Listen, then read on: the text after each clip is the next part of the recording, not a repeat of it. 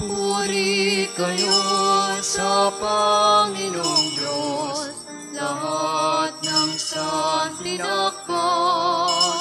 Magsiang Awit kayo at siya'y pagdangon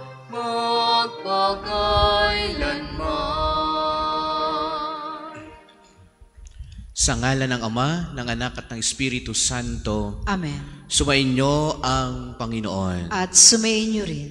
Mga minamahal na mga kapatid, muli ating itaas sa Panginoong Diyos ang mga biyayang ating ipinapanalangin ngayon.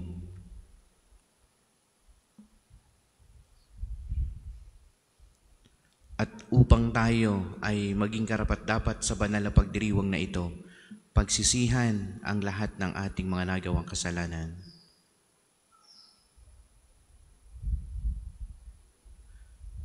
Tayong lahat inaamin ko Sa makapangyarihan Diyos at sa inyo mga kapatid, na lubha akong nagkasala sa isip, sa salita at sa gawa, at sa aking pagkukulang, kaya isinasamo ko sa mahal na Birheng Maria, sa lahat ng mga anghel at mga banal, at sa inyo mga kapatid, na ako'y panalangin sa Panginoong ating Diyos.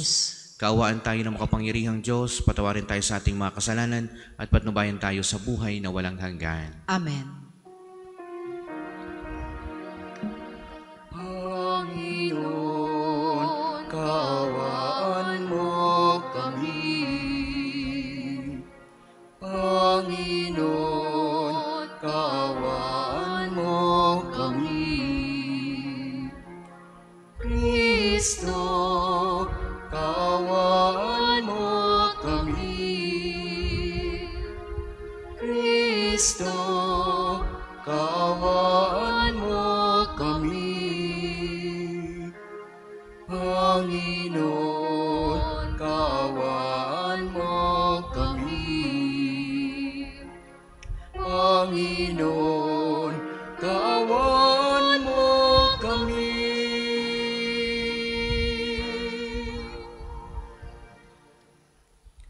Manalangin tayo. Ama naming makapangyarihan, itaguyod mo ang aming ginagampanan alinsunod sa iyong kalooban, upang sa ngalan ng anak mong mahal, kami maging marapat magkaroon ng karagdagan sa aming paggawa ng mga kabutihan. Sa pamagitan ni Yeso Kristo kasama ng Espiritu Santo, magpasawalang hanggan. Amen.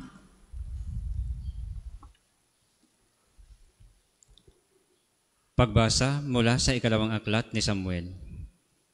Noong mga araw na iyon, nagkaisa ang lahat ng angkan sa Israel na pumunta sa Hebron upang makapagkita kay David. Sinabi nila, Kami laman ng iyong laman at dugo ng iyong dugo. Nang si Saul ang maging hari namin, nanguna ka sa mga kawal ng Israel sa pakikidigma.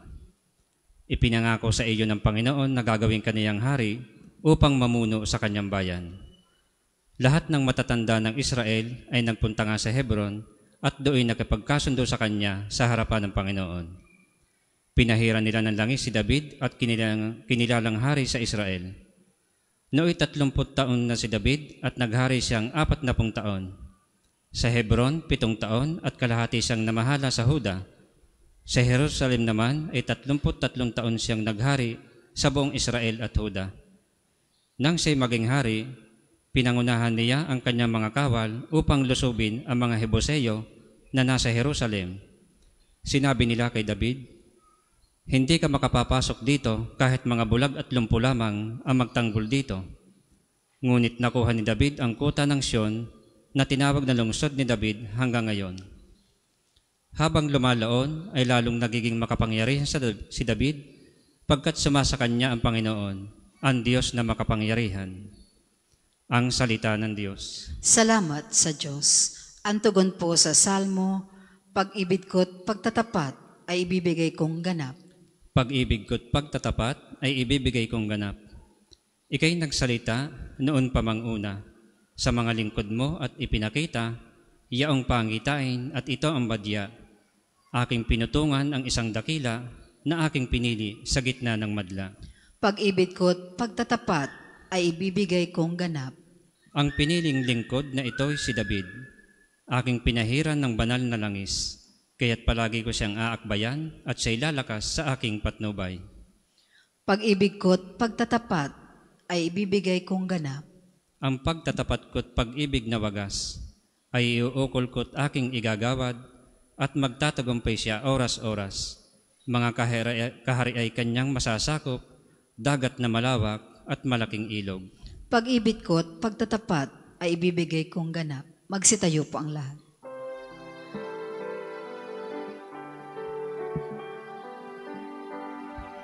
Hallelujah,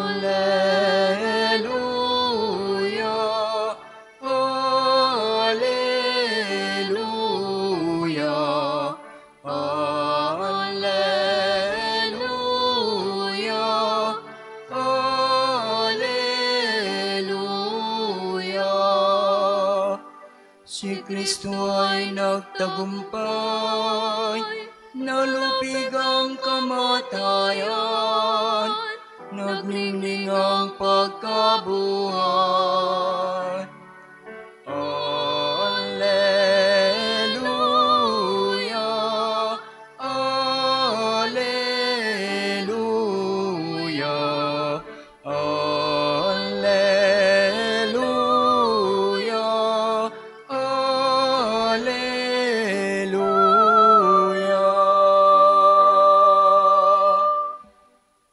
Sumainyo ang Panginoon. At sumayin niyo rin. Ang mabuting balita ng Panginoon ayon kay San Marcos. Papuri sa iyo, Panginoon. Noong panahong iyon, sinabi ng mga eskribang dumating mula sa Jerusalem. Inaalihan siya ni Beelzebul ang prinsipe ng mga demonyo. Ito ang nagbigay sa kanya ng kapangyarihang magpalayas ng mga demonyo. Kaya't pinalapit ni Jesus ang mga tao at sinabi sa kanila ang isang talinhaga. Ang ilang talinhaga. Paano mangyayaring palayasi ni Satanas si Satanas kapag naglaban-laban ang nasasakupan ng isang kaharian, hindi mananatili ang kahariang iyon. At kapag naglaban-laban ang mga magkakasambahay, hindi mananatili ang sambahayang iyon. Gayon din naman, kapag naghimagsik si Satanas laban sa kanyang sarili at naglaban-laban ang kanyang nasasakupan, hindi magtatagal at darating ang kanyang wakas. Walang makapapasok sa bahay ng isang taong malakas at nakaagaw ng kanyang ari-arian, malibang gapusin muna niya ang taong iyon. Saka pa lamang niya malolooban ang bahay na iyon. Tandaan ninyo, tandaan ninyo ito. Maaring ipatawad sa mga tao ang lahat ng kasalanan at panlalait nila sa Diyos. Ngunit ang sino mang lumait sa Espiritu Santo ay hindi mapatatawad. Ang kanyang kasalanan ay hindi mapapawi kailanman. Sinabi ito ni Jesus sapagkat ang sabi ng ilan, inaalihan siya ng masamang espiritu. Mga minamahal na mga kapatid, ang mabuting balita ng Panginoon. Pinupuri ka namin, Panginoong Heso Kristo. Magandang hapon po sa inyong lahat. Magandang hapon po, Padre. Atin mo ng palakpakan ang ating dakilang Panginoong Diyos, mga minamahal na mga kapatid. At sa inyo pong lahat, welcome po dito sa National Shrine, Parish and National Shrine of Saint Padre Pio. Ganon din, tayo ngayon nagdadasal, humihiling ng tulong kay Padre Pio. Palakpakan natin ang ating dakilang patron, Santo Padre Pio. At nawa ang inyong mga panalangin na eh, inilalapit kay Padre Pio, no, itinataas sa ating Panginoong Diyos, nawa ay inyong baunin sa inyong pag-uwi. Mga minamahal, ating pagnilayan ang mabuting balita na ating napakinggan. Sabi ni Jesus, no? Mabigat ang kanyang binanggit sa huli, no?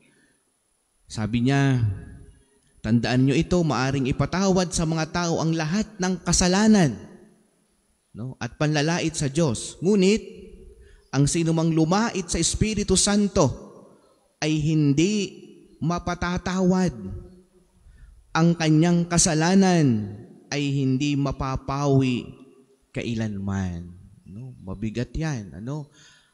Blasphemy, no? Panlalait sa Espiritu Santo, no? Sacrilege, ano? Matinding kasalanan, no? Bakit dumating sa puntong 'yan binanggit ni Jesus sapagkat ang mga eskriba una sila'y naiinggit sa ginagawa ni Jesus.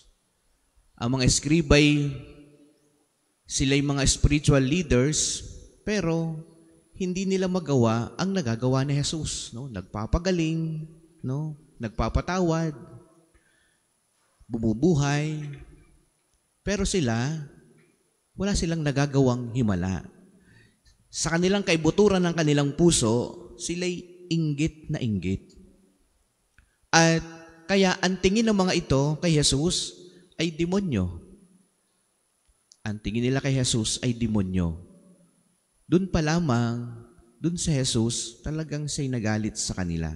Kaya sabi, kahit sabi ni Jesus sa kanila, ang inyong kasalanan ay hindi mapapatawad. No? Sapagkat nilalait ninyo ang banal na Espiritu Santo. Kaya nga, mga minamahal na mga kapatid, kung iyong tingnan natin muna ang ating sarili ngayon. Pag sa iyong sarili ngayon, may pag iyong inexamine ang iyong konsensya ngayon, at may nabubuo na na pagkaingit sa iyong puso, no? May mga bagay na alam mo na parang at dumadating na sa punto na ikaw ay naninira na ng tao, naninira na ng pamilya, no? Ito na yung panahon na i-examine mo ang iyong sarili, no? Sapagkat sisirain mo na ang isang pamilya o kaya ay sisirain mo na ang pagmamahal ng Diyos. Kaya nga, Diyan pala ang magsimula tayo sa ating sarili. Mag-examine ka ng iyong konsensya. Tingnan mo na kapag kayang iyong pusong iyan ay may mga bumabalot ng inggit. At ang pagkaingit mo, minsan, dinadala mo na sa paninira ng kapwa, paninira sa pamilya, o paninira ng isang community, paninira ng isang tao, no? Mabigat na ang nangyayari sa iyo. Ganyan nagsimula ang mga eskriba. No? Kaya yan ay panahon na para ikaw ay magbalik loob ngayon sa Panginoon at iyong tingnan ang iyong sarili. No? Titingnan mo ang iyong sarili. Ang mga eskriba, dumating sila sa punto na hindi nila kinilala ang dakilang pagmamahal ng Diyos sa tao sa pamamagitan ni Jesus. Kaya nagagalit sa Jesus sapagkat hindi nila kinilala, sinaraduhan nila ang kanilang puso na ang Diyos ay maawain, na ang Diyos ay mapagpatawad, na ang Diyos ay mapagmahal sa tao. Tinakpan nila, sinaraduhan nila ang kanilang puso at hindi nila matanggap si Jesus. Ano? Kaya tayo, pag dumadating na sa punto na dumadating na tayo sa mga maraming tanong natin sa Diyos, no? Tayo'y magdahan-dahan ngayon sapagkat baka dumating sa punto na laitin natin ang Diyos. Laitin natin ang Espiritu Santo o kaya hindi natin kilanlin ang dakilang pag-ibig niya sa atin. Marahil marami ang mga pangyayari kapag ka maraming nangyayari sa iyong buhay, no? Maraming dumadating na pagsubok. Pagka hindi sinasagot ang iyong mga dasal, hindi ka pinagagaling sa iyong karamdaman, no? Marami kang inilalapit na para bang ang Diyos ay bingi sa iyo, no? Maraming nangyayari sa pamilya mo, maraming kababalaghan na para bang ito'y misteryo, tanging Diyos ang nakakaalam, pero bakit wala siyang ginagawa para sa iyong pamilya? Mga minamahal na mga kapatid, yan ay tukso sa iyo para layuan mo ang Diyos. Ang mga pagsubok sa buhay na dumadating na matitindi sa pamilya, sa iyo personal, ang iyong mga pagbagsak, ang iyong mga losses, ang iyong mga pain, ang iyong mga struggle, sa iyong family lahat, yan ay isang great temptation sa iyo. Yan ay pamaraan ng demonyo para layuan mo at minsan ay laitin ang Diyos. At minsan, yan ay isang malaking tukso din sa iyo na hindi mo kilanlin ang pagmamahal at pag-ibig ng Diyos sa buhay mo. Kaya pag nandyan ngayon, alam mo nang gagawin mo. Paalaala sa inyo, ikaw ay tinutokso ng demonyo pag mga bagay na yay dumadating sa iyo na hindi mo kilanlin ang Diyos. Kaya, anong gagawin mo ngayon? Ano? Bubuksan mo ang iyong sarili, kikilanlin mo ang dakilang pag-ibig ng Diyos sa iyo bubuksan mo ang iyong puso. Tayo ay hindi remote control ng Diyos. No?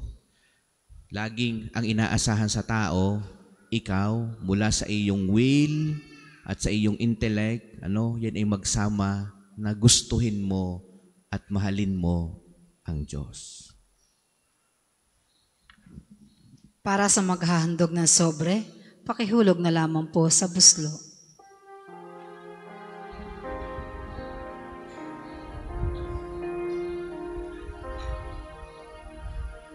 Panginoon, naririto kami ngayon.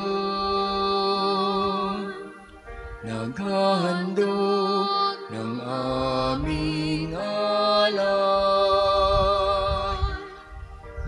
Dala namin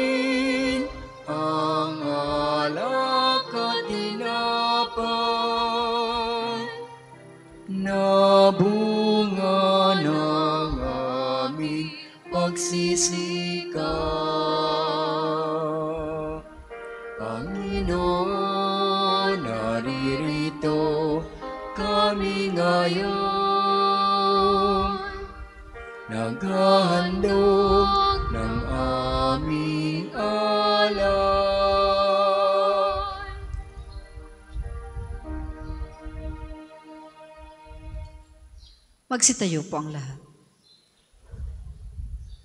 Manalangin kayo mga kapatid upang itong ating paghahain ay kalugdan ng Diyos amang makapangyarihan. Tanggapin nawa ng Panginoon itong paghahain sa iyong mga kamay, sa kaprihan niya at karangalan sa ating kapakinabangan at sa buong sambayanan niyang banal. Ama naming lumikha, tanggapin mong malugod ang aming mga handog.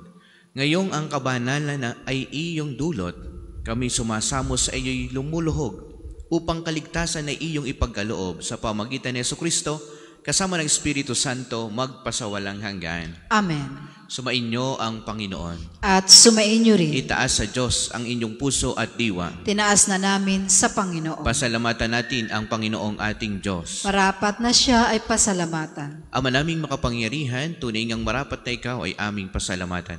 Pinagbibigyan mong ito'y aming maihayag kahit na ito'y walang anumang maidaragdag. Sa kadakilaang sa iyo ay likas. Sa pagpupuri namin ang nakikinabang ay kami ring iyong pinakikiharapan sa pamamagitan ng iyong anak na minamahal.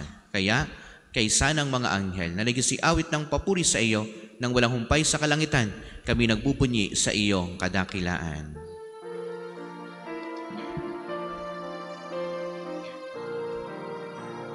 Santo, Santo, Santo, Panginoong Diyos ng mga hukbo, napupuno ang langit at lupa ng kadakilan mo.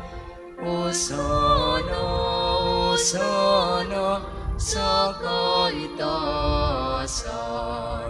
pinagpalang na paririto sa ngalan ng Panginoon. O sana, o sana, sa kaitasan.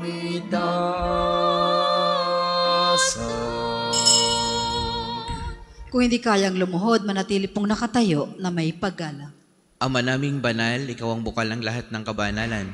Kaya't sa pamamagitan ng iyong Espiritu gawin mong banal ang mga kaloob na ito upang para sa amin ay maging katawan at dugo ng aming Panginoong Heso Kristo. Bago niya pinagtiis ang kusang loob na maging handog, Hinawakan niya ang tinapay, pinasalamatan kaniya, pinagati-hati niya yon, iniabot sa kanyang mga alagad at sinabi, Tanggapin ninyong lahat ito't kanin, ito ang aking katawan na ihahandog para sa inyo.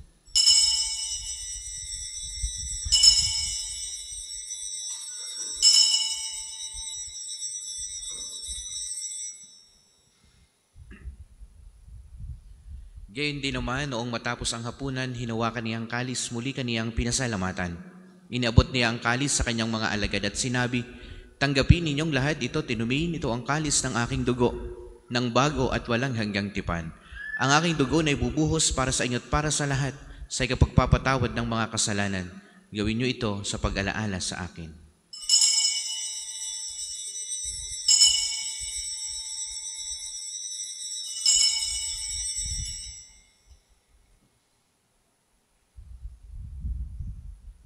Ipagbunyi natin ang misteryo ng pananampalataya. Si Kristo'y namatay, si Kristo'y nabuhay, si Kristo'y babalik sa wakas ng panahon. Ama, ginagawa namin ngayon ang pag-alaala sa pagkamatay at muling pagkabuhay ng iyong anak. Kaya tiniaalay namin sa iyong tinapay na nagbibigay buhay at ang kalis na nagkakaloob ng kaligtasan. Kami nagpapasalamat dahil kami iyong minarapat na tumayo sa harap mo para maglingkod sa iyo. Isinasamo namin kaming magsasalo-salo sa katawan at dugo ni Kristo ay mabuklod sa pagkakaisa sa pamamagitan ng Espiritu Santo. Ama, lingapin mo ang iyong simbahang laganap sa buong daigdig. Puspusin mo kami sa pag-ibig. Kaysa ni Francisco na aming Santo Papa at ni Gilbert na aming Arsobispo at ng lahat ng kaparian. Alalahanin mo rin ang mga kapatid naming nahimlay na may pag-asang sila'y muling mabubuhay, gayon din ang lahat ng mga pumanaw. Kaawaan mo sila at patuloyin sa iyong kaliwanagan. Kaawaan mo at paging dapatin kaming lahat na makasalo sa iyong buhay na walang wakas. Kaisa ng mahal na Berhing Maria na ina ng Diyos, ni San Jose na kanyang kalinilisang esposo, kaisa ng mga apostol at ng lahat ng mga banal na namuhay dito sa daigdig ng kalugod-lugod sa iyo. Maipagdiwang nawa namin ang pagpupuri sa ikararangal mo sa pamagitan ng iyong anak na aming Panginoong Heso Kristo.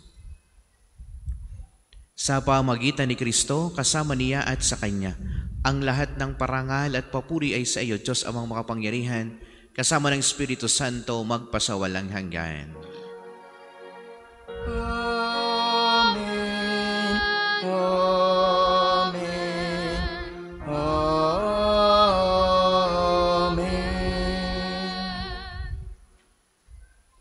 Awitin natin ang Ama namin. Ama namin,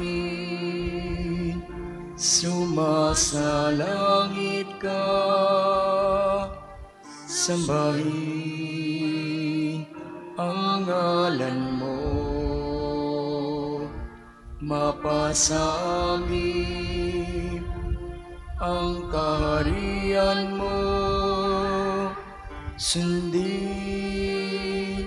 ang dito sa lupa para ng sa. Bigyan mo kami ngayon ng aming kakanin sa araw-araw. At patawarin mo kami sa aming mga sala para ng pagpapatawad namin sa nagkakasala sa amin. At huwag mo kami ipahintulot sa tukso at iyadiya mo kami sa lahat ng masama. Hinihiling namin kami ay adjust sa lahat ng masama pagkalooban ng kapayapaan araw-araw. Iligtas sa kasalanan at ilayo sa lahat ng kapahamakan. Samantalang aming pinananabikan ang dakilang araw ng pagkapahayag ng tagapagligtas naming si Heso Kristo. Sapagkat iyo ang kaharian at ang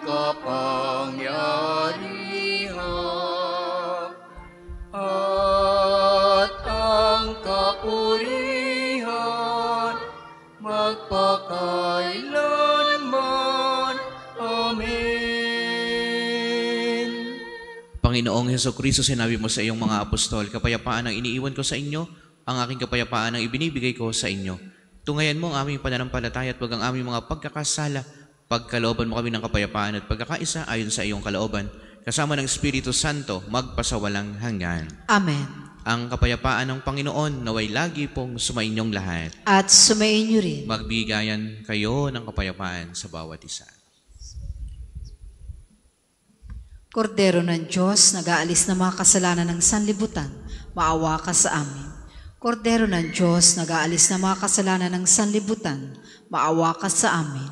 Kordero ng Diyos, nag-aalis ng mga kasalanan ng sanlibutan, pagkalob mo sa amin ang kapayapaan. Kung hindi kayang lumuhod, manatili pong nakatayo na may paggalang.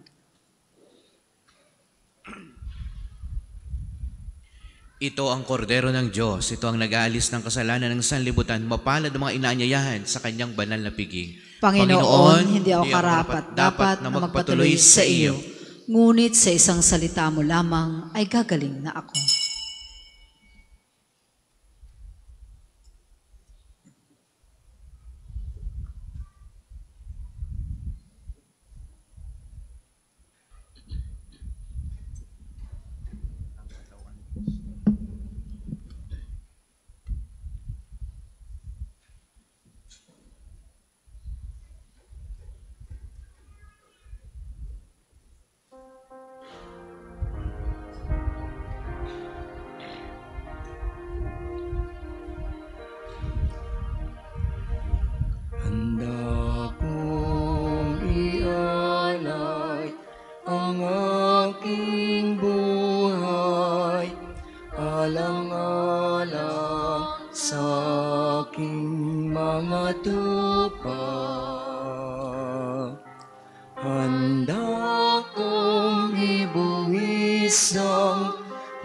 Lahat ng sakin alang-alang sa iyong kaligtasan.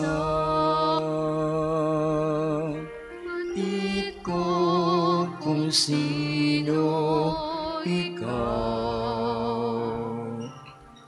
Akong pastol mong sa'yo'y nagalaga. Batid mo rin kung sino ako.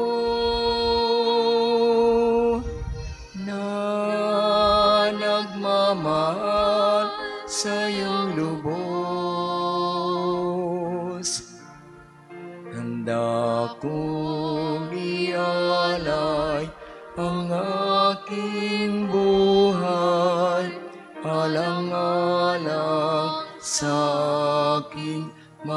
tupa. Handa kong ibuwis ang lahat ng sakin alang-alang sa iyong kaligtasan. Kahit na mawalay sa aking ikaw ay aking hahanapin. At kapag ika'y natagpuan, pauwi sa balikat kong ipapasa.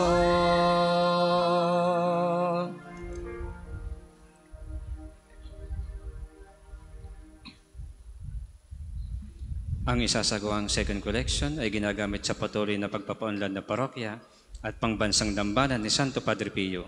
Salamat po sa inyong handog. Handa kong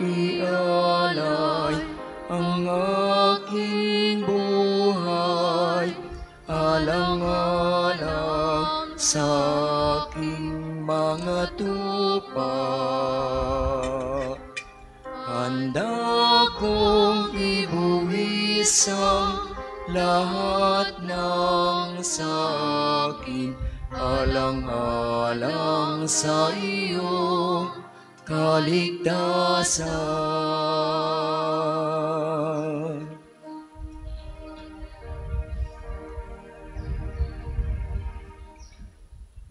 Tayo po ay magsitayo. Manalangin tayo. Ama naming mapagmahal, ipagkaloob mong sa aming pakikinabang sa iyong kagandahang loob na bumubuhay, lagi nawa naming maikarangal ang iyong pagpapalang sa amin ay binibigay. Sa pamagitan ni Kristo kasama ng Espiritu Santo, magpasawalang hanggan. Amen. Panalangin ng pagtitiwala kay Santo Padre Pio, tayo pong lahat. Padre Pio, taga Petrolcina, mongheng banal, pintakasing santo ng milenyong kasalukuyan, gabay namin sa pagtahak sa landasing makalangit, takbuhan sa pangailangan, huwaran ng pagtitiis. Sa iyo namin inilalapit aming mga kagipitan, sa iyo po ibinibilin kalusugan at kabuhayan.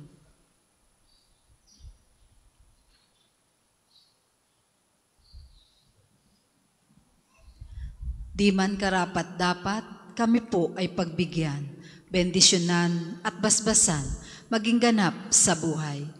Lumayo nawa kami, umiwas sa kasalanan, lumapit lagi sa Diyos, maging matatag at matibay. Sa mabuting balita ng pagliligtas, turuan mo kami nawa.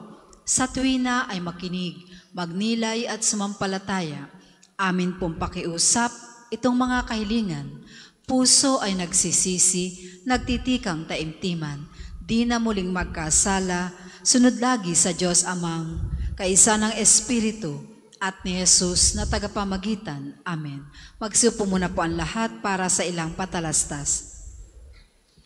Una, sa inyong pagdalaw sa pambansang dambana, mangyaring pakaingatan ng inyong mga personal na gamit. Hangad namin ang isang matiwasay at maayos na pagbisita sa National Shrine. Ikalawa, mga kapiyo, kami po ay humihingi na inyong kaunting oras at pakikiisa para sa pagsusulat ng inyong mga pangalan at ilang detalye sa ating Pilgrim's Information Record Books na makikita sa paligid ng ating mga simbahan.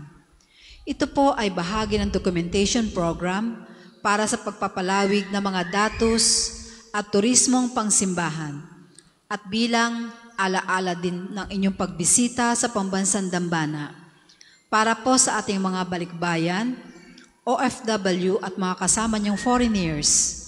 Doon po kayo magsusulat sa International Pilgrims Record Book. Gagayo, gagabayan po kayo ng ating mga tagapaglingkod.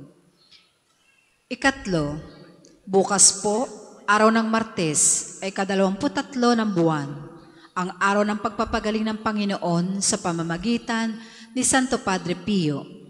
Ang mga oras ng healing mass at healing liturgy na may pagagawad ng langis ay sa ganap na ikasyam na umaga at ikalima ng hapon. Kayo po at ang inyong mga may sakit ay inaanyayahan. Ikaapat, mga kapiyo, sa paghahangad nating makapagdasal ng mas mataimtim at maayos, ninanais nating magkaroon ng mga upuang may sandalan sa Divine Mercy Sanctuary. Sa ganitong diwa ay muli tayong kumakatok sa may mabubuting loob na maghandog ng tulong para sa katuparan nito. Makipag-ugnayan lamang po kayo sa ating pamisahan at opisina para sa mga detalye. Maraming salamat po. Ikalima, para po sa pagpapalaganap ng debosyon sa ating patron, ang Kopradiya ni Santo Padre Pio ay pupunta sa Thailand ngayong February 20 to 24 sa mga nagnanais pong sumama. Kayo ay makipag-ugnayan sa opisina o sa pamisahan hanggang ngayong araw lamang. Ang susunod pong misa ay sa ganap na ikadalawa ng hapon. Maraming salamat at mangyaring panatilihin natin ang kalinisan, katahimikan, at diwa ng pananalangin sa loob at labas ng ating simbahan. Magsitayo po ang lahat para sa pagbabasbas ng religious articles. Mga kapatid, manalangin tayo sa Diyos amang makapangyarihan upang tayo maging kawangis ni Kristo sa taimtim na pagdalangin sa tulong ng mga larawan at mga dasalan. Inyong ilabas ang inyong mga pababasbasan.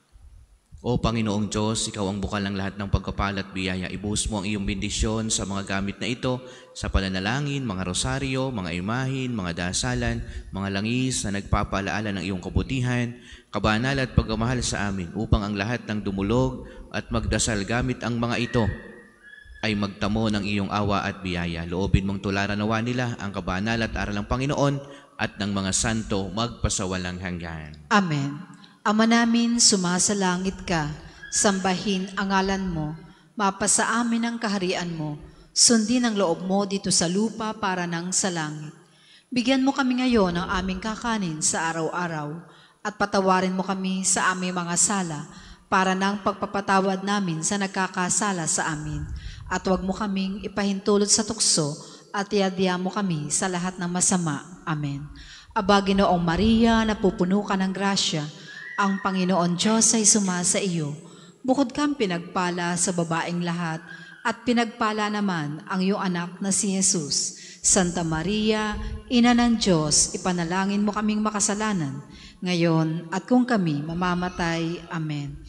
Papuri sa Ama, sa Anak at sa Espiritu Santo, kapara noong una, ngayon at magpasawalang hanggan. Amen. Ama namin, sumasalangit ka, sambahin ang ngalan mo, mapasa amin ang kaharian mo, sundin ang loob mo dito sa lupa para nang sa langit. Bigyan mo kami ngayon ng aming kakanin sa araw-araw at patawarin mo kami sa aming mga sala para nang pagpatawad namin sa nagkakasala sa amin. At huwag mo kaming ipahintulot sa tukso at iadya mo kami sa lahat ng masama. Amen. Papuri sa Ama, sa Anak at sa Espiritu Santo, kapara noong una, ngayon, at magpasawalang hanggan. Amen.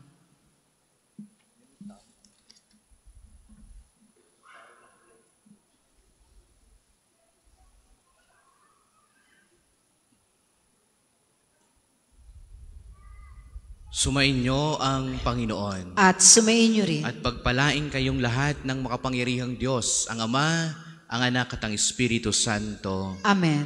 Ang banal na misay na alay na humayo kayong lagi sa pag-ibig ni Kristo. Salamat sa Diyos. Mayo at himaya Kanyang pagkaling at habag Isa buhay pag-ibig at katarungan tanda ng kanyang kaharian.